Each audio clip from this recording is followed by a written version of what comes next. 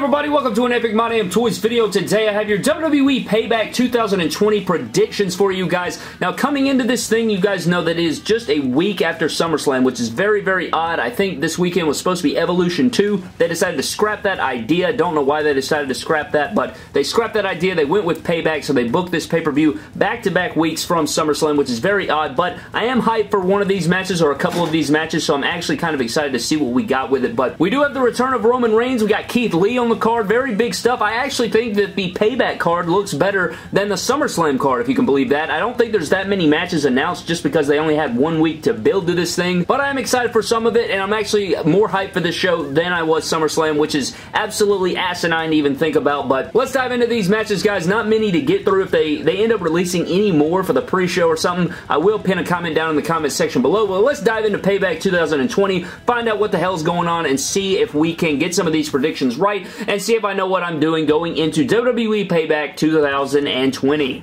Alright guys, so let's start off with the Women's Tag Team Championship match between Nia Jax and Shayna Baszler going after the Women's Tag Team Champions Sasha Banks and Bayley. Now we do know that Sasha Banks lost her Raw Women's Championship at SummerSlam to Asuka. You guys know I thought they would both be champion going into Survivor Series. They would lose the titles here at Payback and then they would be on a collision course for Survivor Series Raw Women's Champion versus SmackDown Women's Champion and that would be the ultimate feud there. I was completely wrong. They didn't do that. They didn't do that great booking right there. They decided to, you know, just trash that idea. Asuka ended up winning the championship, so now Sasha and Bayley have cracks in the armor of their friendship, and it looks like they are going to lose here to Nia Jax and Shayna Baszler, which I am not a fan of either of these women. I think these two are probably two of my least favorite women in all of WWE, so seeing them capture the women's tag titles, I mean, it, it's annoying, but at the same time, I don't think these titles really mean anything, so therefore, it's it's whatever to me. You know, I, I guess it is what it is. I, I knew that the tag team reign of Bayley and Sasha would come to an end. I guess, I'm guessing this is where it's going to take place. Sasha will get pissed, she'll turn on Bayley, and then that will be our feud going forward, which we have been waiting on forever. So that's what I'm going to go with. Nia Jax and, Shayna Baszler will become your new women's tag team champions,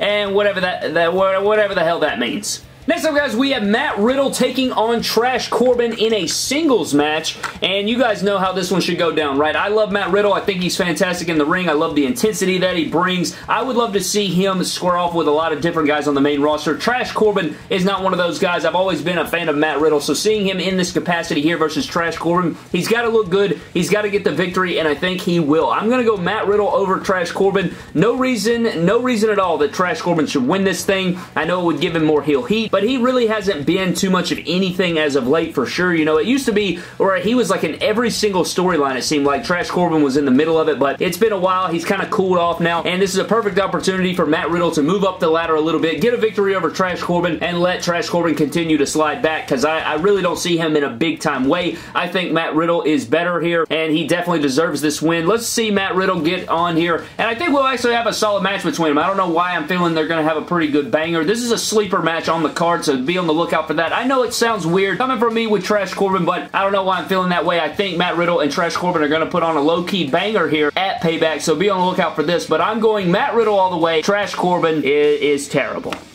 Next up, guys, we have the tag team match between Rey Mysterio and his son Dominic taking on Seth Rollins and Buddy Murphy. Now, good God in heaven, I feel like the, like this should have been the first matchup, right? I feel like they did this in complete different order. They, they flipped the thing on its head. Shouldn't it have been tag team match, then Dominic versus Seth, then eye for an eye match? Instead, they did eye for an eye, which is completely off the wall and totally hardcore. And then you went to the Extreme Rules slash no DQ or whatever the hell that match was, the street fight between Dominic and Seth, and now we're here at a regular tag team match with no stipulation. Just doesn't really make sense in that in that order right there. Just, I, I don't know, how do you get more peaceful, you know? If I'm scoring off with a guy and it's a death match and then one of us ends up winning, the next match we have, why the hell would we obey rules, you know? I don't know. It's just weird. But anyways, guys, I think I'm going to go with Rey Mysterio and Dominic to win here just because it doesn't hold as much weight. I think the father-son dynamic coming together here to beat the greater evil and Seth Rollins and Buddy Murphy, I think that tells the best story, even though Seth Rollins is already beat both of them. I guess they're going to do themselves some 50-50 booking here with a victory with Rey and Dominic. Even though I'd love to see Buddy and Seth win here and go on their merry way, I think we're going to see Rey and Dominic finally get the win over, here over Rollins. So I'm going to go Rey and Dominic for the win.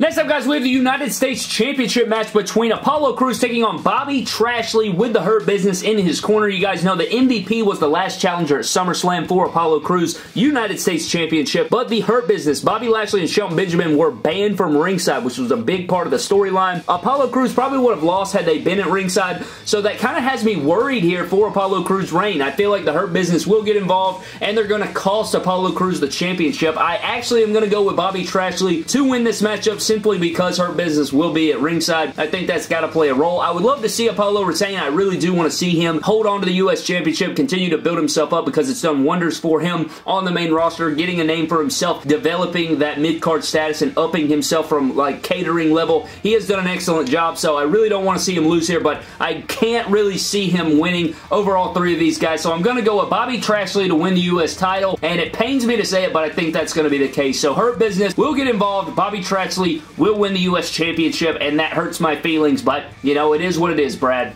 Next up, guys, we have a match that I'm very much looking forward to. Randy Orton taking on Keith Lee in a singles match on the main roster of a WWE pay-per-view. This is absolutely nuts. I cannot believe we're actually witnessing this thing. Randy Orton, one of my favorites of all time, scoring off with Keith Lee. I can't wait to see it, man. I think this is going to be awesome. I think it's going to be hard-hitting. I think it's going to be very, very physical. I can't wait to see the psychology we get in this thing, the storytelling that we get, and I'm hoping that they let these guys go. I think they can bring us to an excellent matchup, a very sleeper match again. I think a lot of people are looking forward to it, but I think a lot of people are probably thinking, oh, Randy Orton, no way he's going to have a good matchup, but I think that they are going to tear the house down. I can't wait to see it. Hopefully I'm correct on this, but I think no doubts about it that Keith Lee has to win here. He absolutely must win. You guys know the big momentum that Randy Orton has been on as a big heel in 2020. That holds a lot of weight to it, especially after coming off this little backslide pinfall to Drew McIntyre. Very terrible there, but I don't think this is going to hurt Randy Orton. This is going to elevate Keith Lee, so that is why Keith Lee has to get the win here. He absolutely must win. He should beat Randy Orton. As, as much as it pains me to say, I still think it should happen, and this will elevate Keith Lee. This will get a lot of eyes on Keith Lee. We know he made his presence at the Royal Rumble. We saw him at Survivor Series. This is another big moment for him here. Getting a big win over Randy Orton would be huge, and I could even see, like, I don't know if it's too early, but I could see, like, Edge returning and possibly helping Keith Lee so it's not completely clean, but Keith Lee would pick up the win. I don't know. We'll have to see. I'd like to see it, you know, just a big old spirit bomb to Randy Orton,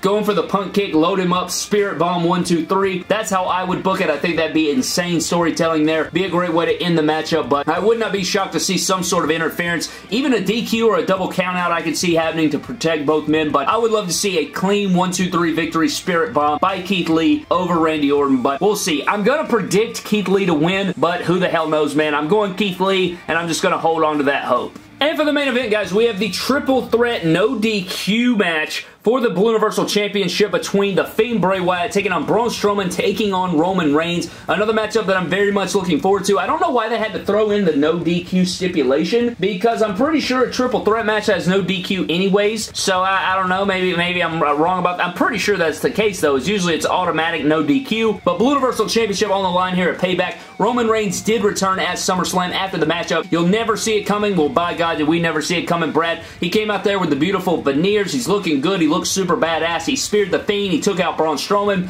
He called him weak, pretty much. He said, I made you, Braun Strowman. You're just a freak with a mask, Bray Wyatt. Y'all both suck ass. I'm back here now, baby. We're about to wreck everybody and win this Blue Universal title. And I honestly think that's going to happen. All the momentum this man has, he came out of nowhere. Everybody seems to be red hot on Roman. He kind of sh is showing some heel-like to himself. He apparently has aligned himself with Paul Heyman as we saw on Friday Night SmackDown, which is absolutely absurd. If you look at the history of Roman Reigns' character and where we've been and what he's done with Brock Lesnar and Paul Heyman all these years leading up to this moment, him aligning himself with Paul Heyman is absolutely nuts, and I think they could have done something a lot more creative than that, like behind the scenes, like, oh my god, uh, like Roman Reigns on the phone and kind of teasing and, I don't know, having meetings and stuff like that. I know they didn't have a lot of weeks, which is why you don't always want a freaking pay-per-view one week after SummerSlam, but it could have been, you know, is he with Retribution? Who the hell's his manager? Who's he in contact with? That could have been a really cool mystery storyline, and then it'd be the big reveal on the Go Home show or at Payback who he's working with in Paul Heyman or whatever, but that would have been a really cool fantasy booking idea had they actually had time to do so, but I know they only had one week in between, which is why I like to say don't do paper, you know, pay-per-views back-to-back weekends like that, but that's besides the point. Coming into this thing, Roman Reigns is red hot, and I think they're going to put the championship on him. You know you got Retribution running around. I fantasy booked the idea that Roman Reigns could be leading Retribution with Paul Heyman. That would be excellent. I'd love to see the storytelling. That would get me to watch Friday Night SmackDown every single week if they were to pull some ish like that out, and I was actually super excited to see Paul Heyman back on TV, especially with Roman Reigns. I mean, that's that, that just blows my damn mind. That has me intrigued for sure, and I can't wait to see what we get here, but I'm going to go with Roman Reigns to win the Universal Championship. I think The Fiend is going to be a transitional champion, just like he was last time. The Fiend Bray Wyatt is kind of dead anyways. Like, everybody's already calling him dead. Uh, the Fiend died for me a long time ago at Hell in a Cell when he took on Seth Rollins, so not the biggest deal for me, but uh, I want to see Roman Reigns as champion. I want to see him as a heel champion, just like we see on MDT Live. He's the MDT champion. He's a heel. He's the leader of a faction. That's the way I would want to see it, so that's why I portray it the way I do in my fig fed. So here, playing it out on real live television would be absolutely insane, so I really want to see that take place. I'm going to go Roman Reigns to win the Blue Universal Championship. No other way it should go. I'm hyped for it. I can't wait for this matchup. Hopefully it comes true, and I'm just intrigued to see what kind of storytelling and storylines we get coming out of this with Paul Heyman and everything. And Braun Strowman, I think he's going to eat the pin. I think we're seeing a young bald Strowman taking the pinfall here to your champion, the big dog, and uh, he's going to reign supreme and get that Universal Championship back. He looks good. He looks great. That's terrific, Uncle Remus. I know the catfish are huge. Roman Reigns is winning the title. That is it for my payback predictions, guys. Thank you so very much for watching the video. I would love to know your predictions down in the comment section below for WWE Payback 2020.